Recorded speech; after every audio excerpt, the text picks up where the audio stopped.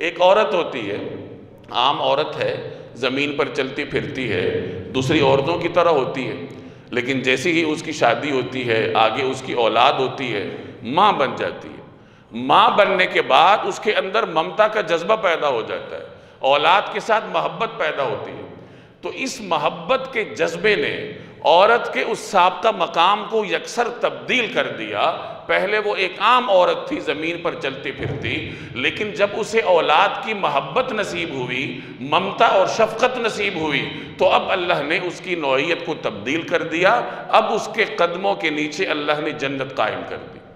ایک ایک مرد ہوتا ہے، عام چلتا پھرتا مرد ہے۔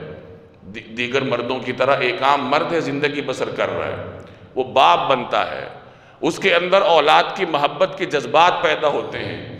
تو یہ جذبات اسے اس قدر طاقت دیتے ہیں کہ اس کی رضا پھر اللہ کی رضا ہوتی ہے۔ رضا الرب فی رضا الوالد و سخت الرب فی سخت الوالد۔